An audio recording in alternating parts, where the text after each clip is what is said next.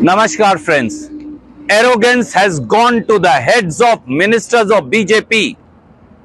We saw how in Nagar district in Karnataka, V. Somanna, the senior cabinet minister of BJP, slapped and threw a hapless woman on the ground. Prime Minister speaks about women's safety from the Red Fort.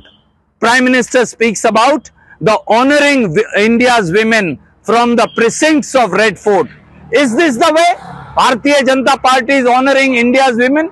Is this the way you are protecting and giving security to India's women who are demanding justice, not arms from the BJP ministers?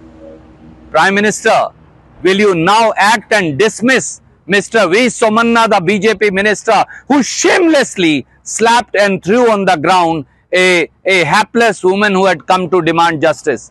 And where is Mr. Bommai? Other than pay CM and 40% commission, does he even hold himself responsible for the misdeeds of his minister? Dismiss the minister today. Otherwise, people will know that empty lip service in favor of India's women will not do. You have to dismiss V. Somanna. That is a justice that people of India and India's women, Karnataka's women demand.